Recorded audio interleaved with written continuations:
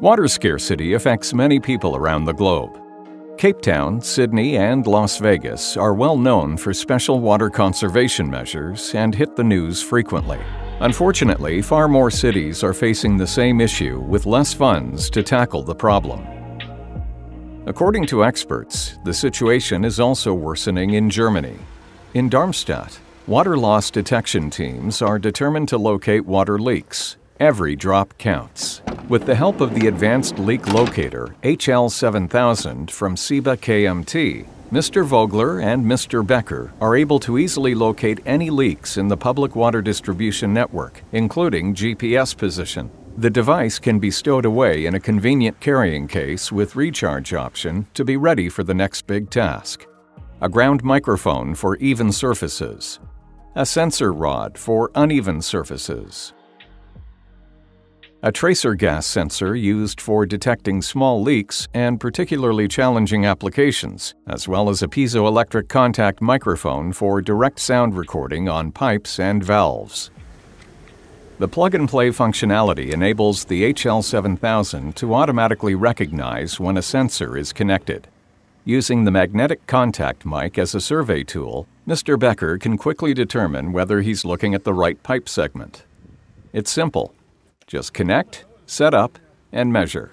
Information such as sound level and frequency are clearly displayed on the device screen. In order to better isolate the leakage noise, the HL7000 automatically sets a suitable filter range, which can be manually adjusted if required. Once suspicious leak locations have been confirmed, the technicians can switch to a different sensor type. The main operating unit automatically establishes a Bluetooth connection so the operator can continue the pinpointing using the waterproof, wind-protected ground microphone. Mr. Becker is able to keep his hands free while working, allowing him to better focus on listening for leakage noise. The wireless technology blocks noise interferences caused by wind or bad wire connections. In histogram mode, sound data and GPS locations can be saved at the touch of a button. With each listening point, you get a clear image of the fault location.